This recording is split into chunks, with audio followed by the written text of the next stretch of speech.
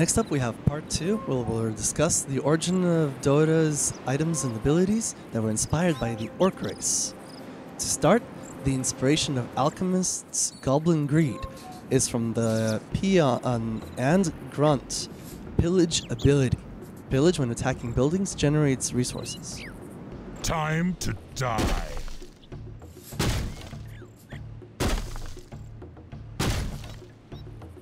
I personally think this is how fast alchemists should be gaining gold as well. The Troll Batrider's Liquid Fire slows the attack speed of enemy buildings and is the basis of Liquid Fire for Jakiro. You're the boss.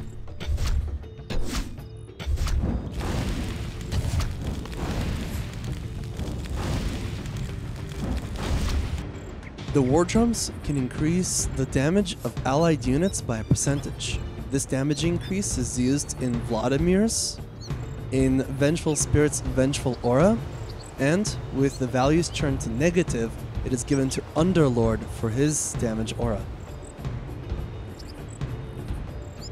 Devour can target an enemy unit, instantly consuming it. Oldest versions of Doom's Devour used this ability. Uh, now it's just the inspiration.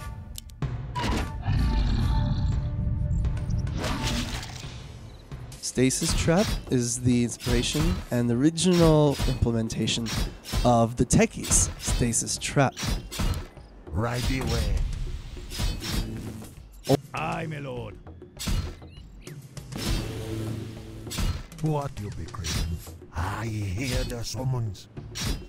The Witch Doctor's Healing Ward can heal allies and area of effect for a percentage of their health. That be good choice, man. This is the basis of Healing Ward for Juggernaut. The Shaman's Purge removes buffs from an allied unit or buffs from an enemy unit, and it slows. This is the only purge in the game which slows and is the basis of the White Satyr's Purge ability, as well as Demonic Purge from Shadow Demon. For the Horde. Mjolnir's active was inspired by Lightning Shield. Whereas Mjolnir's Lightning procs upon damage, Lightning Shield is just a passive damage over time and an area of effect around the unit that is being cast on. Right away. Bloodlust, which increases an attack speed and movement speed of an allied unit, has been given to Ogre Magi for his Bloodlust. Right away. Note the increase in size as well. The Spirit Walker's ethereal form can transform him back and forth from an ethereal form. This is the basis of Ghost Scepter in Dota. Spirit Link used to be a totally defensive ability in Warcraft 3, where some of the damage taken by one unit is shared amongst others.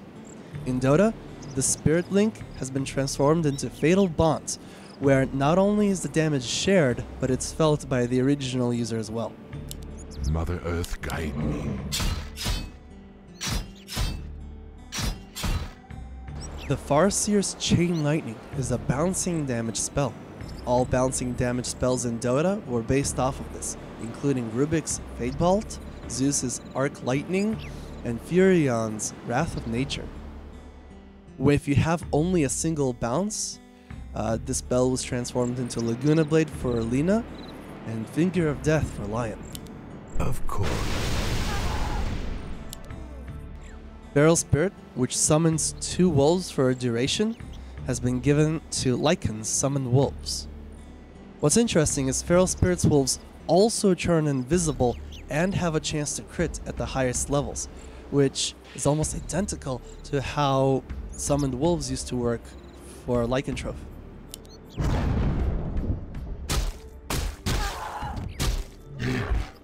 The spell Earthquake is not in Dota, but its effects were the inspiration for Sand King's ultimate. Note that it slows units and deals damage over time to buildings. In Dota, it's just to units as well. I see. There's no other unit in Warcraft 3 whose abilities have been copied more than the Blade Masters. Windwalk turns the Blade Master invisible, granting bonus movement speed and bonus damage when coming out of invisibility. All invisibility that grant movement speed or bonus damage in Dota are based off of this one ability, including Windwalk from Clinkz, Shadow Walk from Bounty Hunter, Vendetta from Nyx Assassin, and Shadow Blade. Excellent choice. Are you hero and obey? Notice the red number. Mirror image creates illusions of yourself, which you can use to fool the enemy. This is the mirror image given to Naga Siren, Phantasm given to Chaos Knight, and the mirror image ability given to Manta Style. Oh, Critical Strike gives the Blade Master a chance to do bonus damage. Nearly all criticals in Dota are based off of this one ability, including Coup de Grace, uh, Mortal Strike, and Daedalus. yes. Blade Storm is a clone copy for Blade Fury given to the Juggernaut. Excellent choice.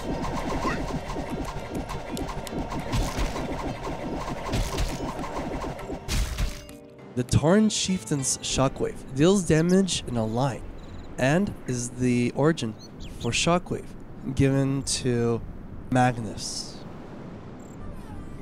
For my ancestors.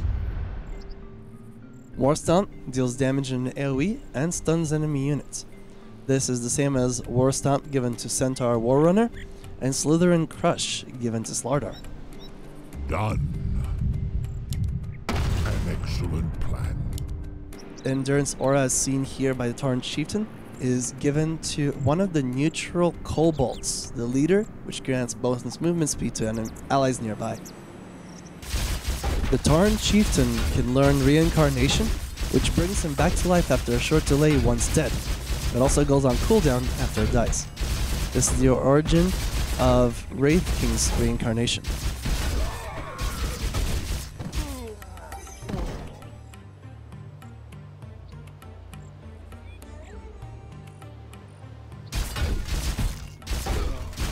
The Shadow Hunter's Healing Wave can heal units in a chain and inspired Dazzle's Shadow Wave. Yeah, man. Big Bad Voodoo can turn allies invincible while keeping yourself stationary and channeling.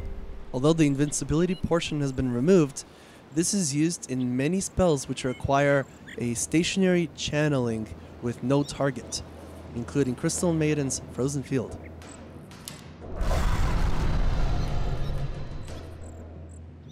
Hex can transform an enemy into a critter and has been given as Hex for both Shadow Shaman and for Lion.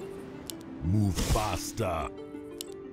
Serpent wards, when placed on the ground, can attack enemy units, but cannot move, and are magic immune.